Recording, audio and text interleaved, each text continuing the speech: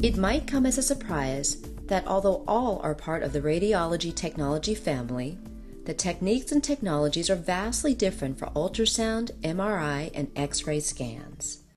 Ultrasound's different from X-ray, uh, being that we use sound waves to visualize our internal organs. We don't look at bones. We use a transducer, which is a little device, like a little wand that we use with um, water-based gel, and we put it on the area that we're we're looking at, like say the abdomen. Um, what happens is the transducer shoots out sound waves, and the sound waves bounce off internal organs, and it shows us the image on the screen, and that's what we'll see on the screen in the ultrasound, we have to do so much more than just take pictures. We provide quality care to the patient.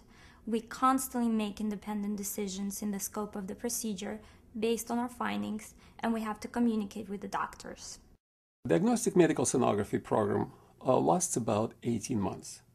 Depends on different program. Some program will take about one year up to four years to get a bachelor degree. The prerequisites could take from high school diploma to certain specific qualifications in allied health programs.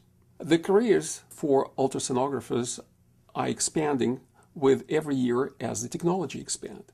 So even in the, in the tough market, the opportunities are excellent. Uh, the salaries in the field of sonography are very competitive and sometimes could be even higher for the specialists with the similar degrees.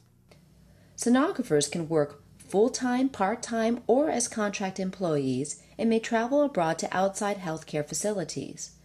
There are even opportunities to work with mobile imaging service providers, serving patients in areas that require treatment via mobile diagnostic imaging equipment.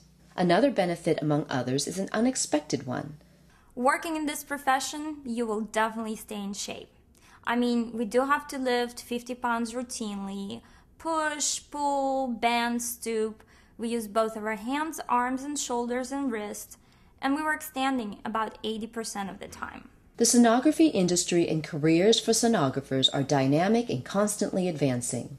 With rapidly developing new technologies and increased use of diagnostic ultrasound procedures, growth is projected to continue well into the future. Sonographers can choose to work not only in clinics, hospitals, private practice physician offices, laboratories, and other medical settings, but also in education, administration, research, and in commercial companies or technical advisors.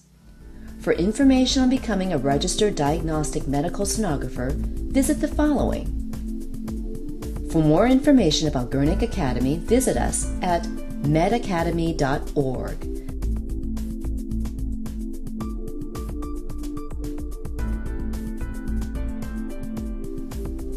For a current list of accredited education programs in diagnostic medical sonography, visit the following